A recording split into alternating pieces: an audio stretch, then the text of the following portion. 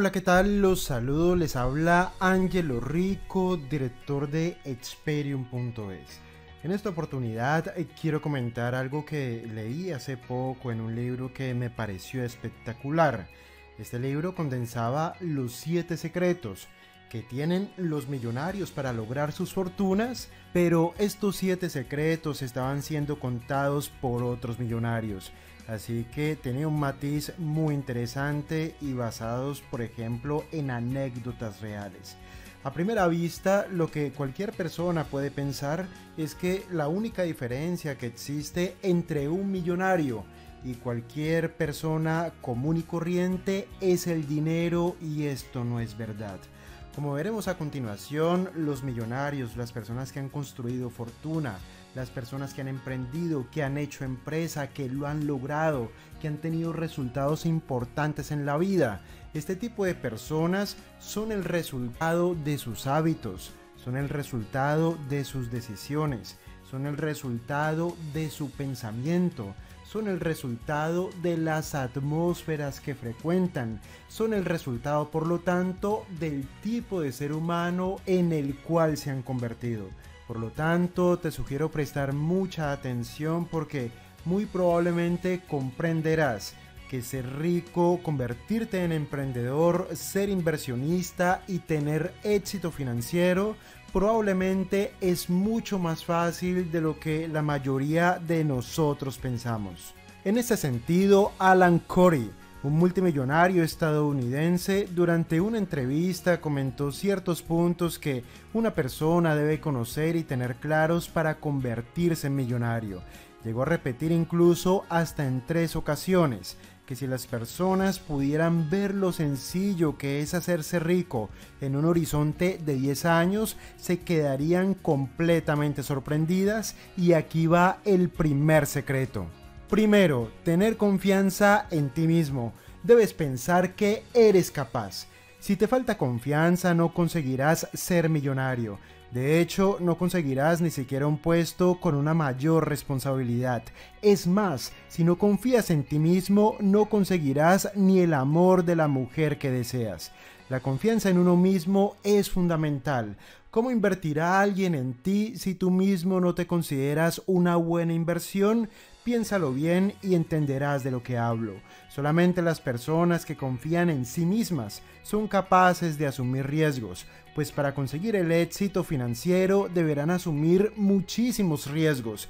Existen dos tipos de personas en la vida, los cobardes y los valientes. El valiente puede hacerse rico o arruinarse, esas son las dos únicas alternativas, pero el cobarde solo tiene una alternativa y es quedarse pobre, no tiene más opciones en la vida.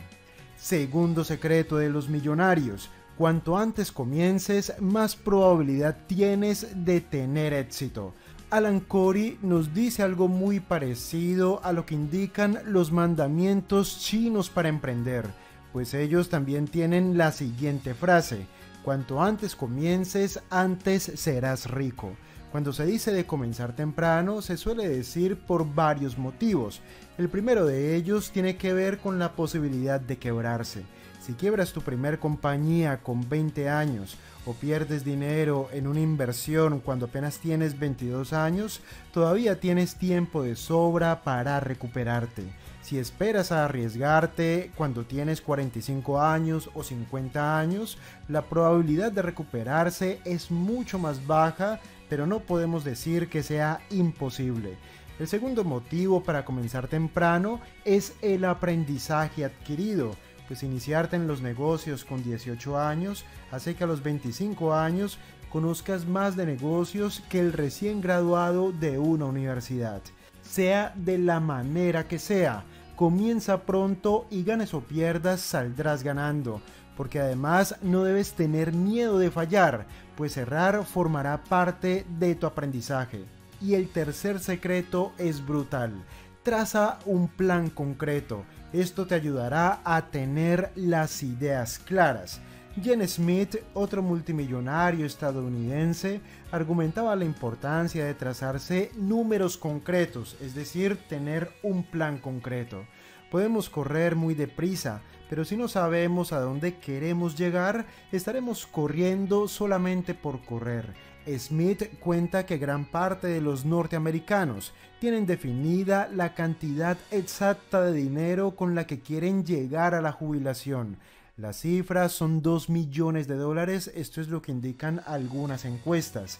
Si un ejecutivo norteamericano no consigue tener más de 2 millones de dólares para cuando llega a la jubilación, probablemente no vivirá tranquilo, y más si tiene hijos que quieren ir a prestigiosas universidades.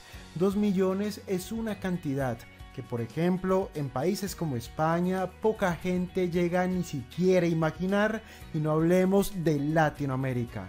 Para trazar este plan se suele hacer un cálculo de cuánto dinero necesitas ahorrar cada mes para que al cabo de 30 años puedas tener esa cantidad.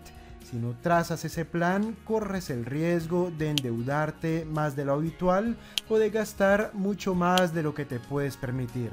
Tus finanzas personales funcionan al igual que una empresa y como toda compañía debes hacer un plan, debes ser estratégico, debes tener un control mensual o trimestral o incluso semanal y en caso de no obtener los resultados esperados se deberá proceder a un cambio en la estrategia, no cambiar la meta, cambiar el plan.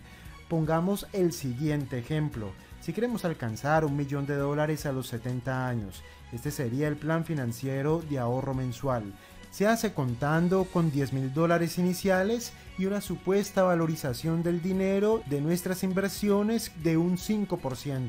Si comenzamos con 25 años, para conseguir un millón de dólares a los 70 años, deberemos ahorrar únicamente 450 dólares al mes, unos 15 dólares al día. Recordemos que estamos esperando un rendimiento del 5%. Con 35 años deberíamos ahorrar 850 dólares al mes.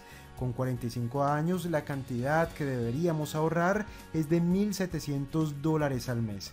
Con 55 años la cantidad a ahorrar es de aproximadamente 4.000 dólares al mes. Como bien decíamos al principio, Cuanto antes comienzas, mucho mejor. No obstante, Smith habla de llegar a la jubilación con una tranquilidad financiera y no de hacerse rico antes de los 40 años, que verdaderamente es un objetivo mucho más digno. Y vamos para el cuarto secreto de los millonarios. No adquieras deudas desde temprana edad. La verdad es que todos los millonarios acerca de los que he leído, por ejemplo Robert Kiyosaki, Donald Trump, Smith, Buffett, etc., están de acuerdo en este punto. El sueño de meterte en una hipoteca con 23 años no te ofrece tranquilidad financiera, sino que te coloca una soga al cuello que pende de la estabilidad de la silla en la que apoyas los pies. Y en este caso, ante cualquier movimiento inesperado, la silla cae y la soga se aprieta. Si adquieres deudas desde joven, olvídate de ahorrar y por lo tanto de invertir y en este sentido olvídate de conseguir la libertad financiera. No obstante, se debe distinguir entre lo que es, por un lado, la deuda buena y por otra parte, la deuda mala, la deuda barata y la deuda cara por lo que endeudarse podría ser bueno siempre y cuando la deuda nos proporcione un retorno superior al pago de los intereses de la deuda. Cuando hablamos de deuda buena, y esto solo para recordar, estamos diciendo que tomamos una deuda para comprar activos que generan un retorno, es decir, que generan ingresos pasivos. Y cuando hacemos referencia a deuda mala, nos estamos refiriendo a aquel tipo de deuda que tomamos para darnos gusto, para ir de vacaciones o para comprar pasivos. Seguimos con el quinto punto que es interesantísimo. Nunca vivas por encima de tus posibilidades y esto es algo que hemos repetido en muchos videos. El primer paso para hacerte millonario consiste en no vivir como un millonario, es decir, los estereotipos que tenemos acerca de cómo viven las personas verdaderamente ricas son falsos. Esos estereotipos del auto deportivo, el jet privado y las vacaciones de lujo. esos estereotipos no aplican, sobre todo cuando apenas estás comenzando sobre todo cuando es tan importante capitalizar tus ingresos, capitalizar tus ahorros y capitalizar tus inversiones. Aparentar riqueza cuesta un dinero que se podría aprovechar, no para aparentar riqueza, sino para construirla. Cuando tienes una entrada importante de capital, ese es el momento de hacer uso de una austeridad voluntaria pues si gastas en función de lo que ganas, con el tiempo vivirás una necesidad de austeridad obligatoria. No sé si este concepto se comprende lo suficientemente bien. Mantén siempre los pies en el suelo, nunca olvides de dónde vienes, pues parte de los mayores fracasos financieros los cometen millonarios que vienen de familias pobres, Nunca olvides de dónde procedes y así tendrás mucho más claro hacia dónde te diriges. Sexto secreto, haz aquello que verdaderamente amas y te apasiona. La pasión es la batería que nos mueve. La pasión es la batería que nos impulsa a movernos. Esto es lo que reitera continuamente Donald Trump en la mentalidad de un emprendedor. Si no sientes pasión y no amas lo que haces, jamás tendrás éxito. Quizás parte de los problemas que tenemos muchos hispanos es que a muchos les gusta más el fútbol o el béisbol que las finanzas. Rara vez, aunque existen las excepciones, un millonario no entiende de finanzas. Ser millonario es una profesión donde el producto es el dinero. El dinero es una consecuencia de lo que tú haces de manera productiva. Si no conoces cómo funciona el dinero, quizás nunca estés preparado para tenerlo en grandes cantidades. Recuerda este viejo dicho, un tonto y su dinero no están mucho tiempo juntos. Algunas personas han estado a punto de ser ricas hasta que tuvieron que delegar la gestión del capital en una tercera persona. Y esa tercera persona vio a un tonto con dinero y decidió engañarlo. No podemos pecar por ingenuos y mucho menos por ignorantes. Intenta que te apasionen las finanzas. Aún así, si te apasiona la moda, busca la forma de vivir de la moda. Si te apasiona el deporte, vive del deporte. Y si te apasionan los chismes y la telebasura, pues nada, no todo el mundo puede ser millonario. Y vamos para el sexto secreto. Trabaja duro pero de manera inteligente. No existe recompensa sin trabajo. Cuando hablábamos de los únicos secretos para hacerte rico, desde luego que el trabajo duro es lo esencial. No existen millonarios que no se hayan ganado la fortuna con trabajo duro. Sin embargo, hay que resaltar que además de trabajo duro, se requiere hacerlo de manera inteligente. Puedes trabajar 14 horas en un pequeño negocio y no poder llegar a fin de mes. Muchas veces para tener que trabajar menos en el futuro, deberemos tener mentalidad empresarial y hacer un sacrificio temporal de dedicación extraordinaria en el presente prepárate correctamente, estudia todo lo que tenga que ver con tu sector e insisto, dedica tiempo a la educación financiera, pues el dinero se puede multiplicar si lo sabes invertir. Yo entiendo que muchas de estas cosas que acabamos de analizar ya las hemos dicho en otros videos y que podemos parecer reiterativos pero estoy completamente seguro y de eso me doy cuenta por gran parte de los comentarios que recibo en redes sociales y gran parte de las preguntas que recibo a través del correo electrónico. Esos comentarios, muchos de estos comentarios y muchas de estas preguntas me dejan ver que la gran mayoría de nuestros seguidores todavía cometen errores y todavía tienen errores conceptuales que son básicos muy a pesar de que, como acabo de decir, estos conceptos los hemos repetido una y otra vez. Por lo tanto, no me cansaré de hacerlo.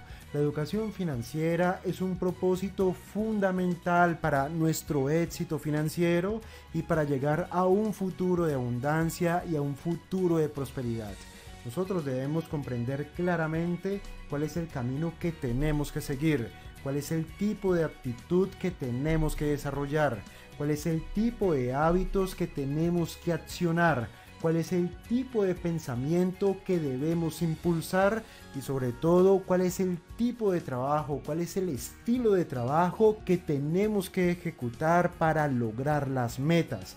Debemos entender que el 95% de los millonarios vienen desde abajo, tuvieron que superar dificultades, tuvieron que superar problemas, tuvieron que superar sus propias limitaciones, tuvieron que cambiar su pensamiento, tuvieron que cambiar sus hábitos, tuvieron que cambiar de amigos, tuvieron que apartarse de su familia y tuvieron que apartarse de personas que no aportaban nada a su vida. El 95% de los millonarios de hoy en día viene desde abajo. Y esto lo que quiere decir es que cualquier persona lo puede lograr, pero lo podrá lograr cualquier persona que implemente los 7 consejos que acabamos de apuntar. Como siempre, si este video te aporta valor, no olvides dejarnos un pulgar arriba y compartirlo en tus redes sociales como YouTube, Facebook, Instagram o Twitter. Si eres nuevo en nuestro canal, solo te pido dos cosas. La primera de ellas, por supuesto, suscribirte a él. Y la segunda, hacer clic en la campana para que YouTube te notifique cada vez que tengamos nuevas actualizaciones. Recuerda también que si tienes algún tema que tenga que ver con las finanzas personales, con el ahorro, con las deudas, con las tarjetas de crédito o con las inversiones. Debes escribirlo debajo en los comentarios. Solemos leer todos los comentarios y contestarlos. Y por último, recuerda realizar nuestro curso básico gratis para aprender a invertir en bolsa. Lo encontrarás en un link debajo de este video. Me despido, muchas gracias por tu atención y nos vemos en un próximo capítulo.